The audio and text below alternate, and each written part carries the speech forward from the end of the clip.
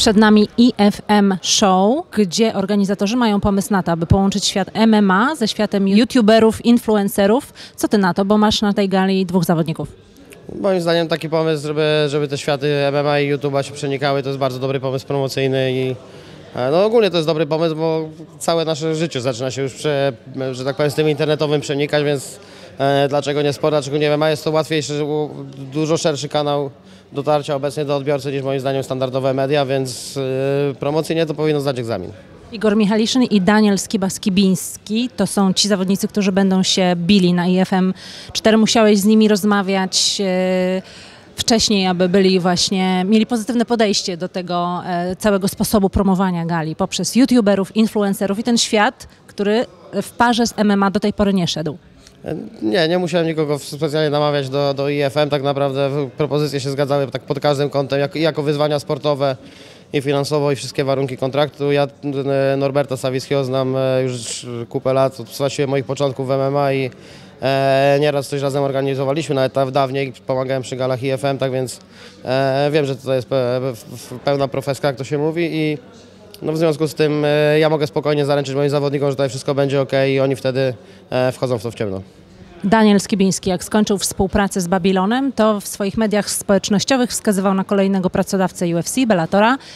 Teraz bije się dla IFM. Jakie są dalsze plany? No i przede wszystkim, czy Tomasz Babiloński odebrał telefon?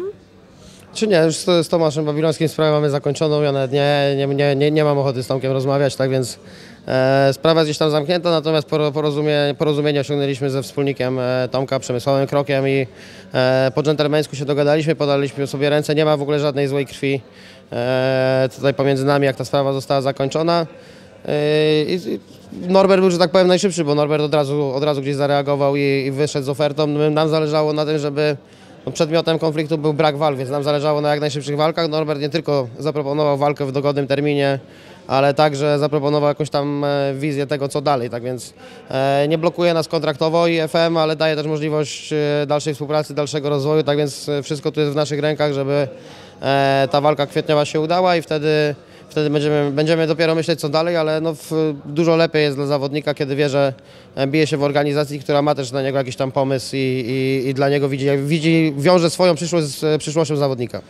A tak ta wizja mnie zainteresowała. Jaka wizja tak Ci się spodobała właściciela federacji, współwłaściciela federacji IFM Show? Znaczy, no Norbert sam jest menedżerem, więc, więc wie doskonale, jaka wizja nas interesuje i że e, no jeszcze, jeszcze tak łatwo nie składamy broni. Wprawdzie ten poprzedni rok nas oddalił od, od UFC, ale e, dzięki regularnym startom i myślę, że jedna, dwie walki i będziemy z powrotem, e, z powrotem w grze o tą e, Ligę Mistrzów MMA i e, i UFC w końcu się uda, żeby Daniel Skibiński tam trafił, tak więc e, to jest, to jest taka wizja, którą my mamy i widzę, że, że IFM chce nam w tym pomóc, samemu także mając no, jednego z najlepszych zawodników, a rankingowo najlepszego zawodnika w Polsce w kategorii półśredniej.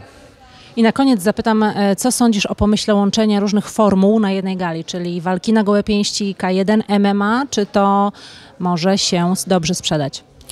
Moim zdaniem to jest, to, to jest ja, ja sam jako widz wolę, wolę oglądać stricte galę MMA, ale sam jako organizator miałem na przykład walkę kickbokserską na gali, ponieważ no, opłacała się ona gdzieś e, i lokalna społeczność była nią żywo zainteresowana.